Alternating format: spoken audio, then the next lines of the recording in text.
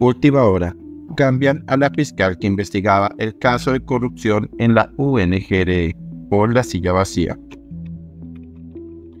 La fiscal general Luz Adriana Camargo apartó del caso por la compra irregular de tanques en La Guajira la fiscal 79 anticorrupción Andrea Muñoz.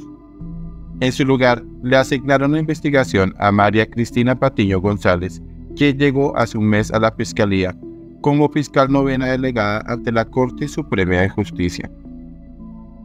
Patiño González viene de ser juez penal del circuito de Bogotá y antes fue magistrada auxiliar de Leonidas Bustos. Él es magistrado prófugo de la justicia por el caso del cartel de la toga.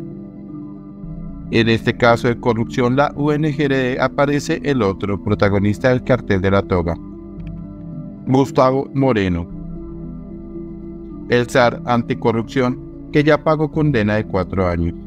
Es el abogado defensor de Snyder Pinilla, el subdirector de la UNGRD que prendió el ventilador del escándalo. Es decir, Gustavo Moreno va a negociar el principio de oportunidad de su cliente con María Cristina Patiño, quien trabajó por muchos años para el corrupto magistrado Leonidas Bustos, de quien Moreno era muy cercano.